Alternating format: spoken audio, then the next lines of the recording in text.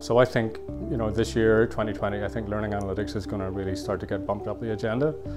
There's lots of technology around now that can unobtrusively, you know, track kids' learning behaviours and really provide teachers and administrators with valuable insights. But I think this year, one of the most interesting things is we're going to be able to start giving kids actionable feedback about their own learning behaviours.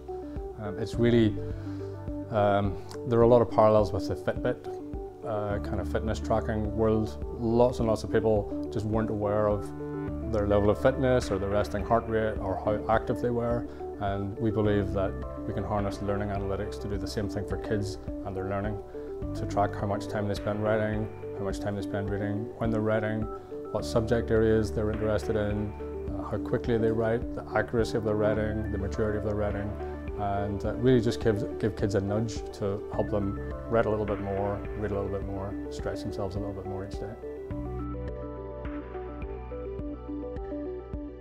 So two years ago I was talking about 3D printing and uh, you know everyone, so 3D printing is in the, uh, I think it's called the, uh, the trough of um, disillusionment. If you look at the uh, at the Gartner curve, you know people get all hyped about something, and uh, then it goes into the trough of disillusionment, and then it kind of climbs back out of the trough again.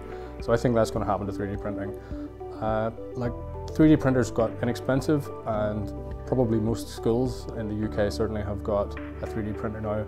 The problem is they're so slow. If you have a technology class with 30 kids, it's really not practical for all 30 of them to print something. It just takes way too long. Uh, but that's the previous generation of 3D printers. The next generation of 3D printers use um, uh, fluid and they're about 100 times faster. So that means that instead of something taking 30 minutes to print, you know, it, it can be can be printed in a minute. And that means that a whole class can probably use a 3D printer over, you know, uh, two periods. And that's going to make a, a big difference. Um, and also, Technology and design tools are getting better and easier to use. You don't have to be a like a, a physicist to, to, use some of the 3D design uh, software that's around now.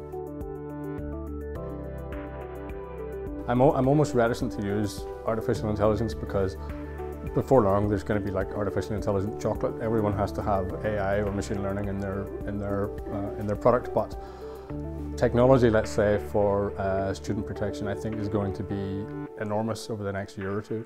There's an, absolutely an epidemic of kind of mental health issues in young kids at school. They're under a lot of academic pressure, they're under a lot of peer pressure. Social media is uh, not helping. And uh, I think that technology uh, is not something that Texthelp are doing actively uh, at the moment, but I think this is something that's going to be an interesting area for growth. If technology can observe kids who are searching for you know, resources related to uh, self-harm or anxiety, uh, then you know, an early warning to uh, a teacher or someone involved in pastoral care at the school uh, can really help uh, you know, kids from taking, a, taking the wrong path. And I think that technology is getting better now at doing that in an unobtrusive way large companies can track kids' behaviour without knowing who the kid is, and you know they can be it can be de-identified.